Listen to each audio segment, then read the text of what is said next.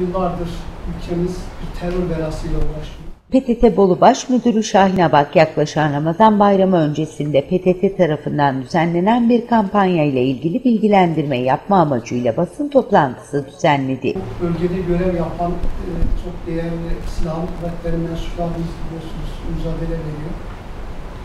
Tabii bu mücadele ağır bir mücadele. Bu mücadele verirken de e, tabii e, şehitlerimiz oluyor. Adet şerbetini içen şehitlerimiz oluyor, gazilerimiz oluyor. Tebrik kartı bizden, güvenlik güçlerimize göndermek sizden sloganıyla yola çıktıklarını belirten Abak, vatandaşların Ramazan bayramı öncesinde 13 ildeki 127 birliğe tebrik kartını ücretsiz olarak gönderebileceklerini söyledi.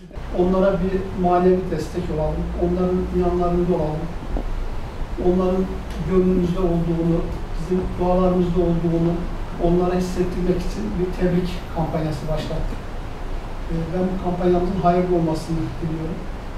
Ee, Tabii onlara olan e, borcumuz e, bir vefa borcu. Yani o ölçülemez. Ama e, yine de bir manevi bir e, maneviyat yani güçlendirmek için kampanya düzenledik.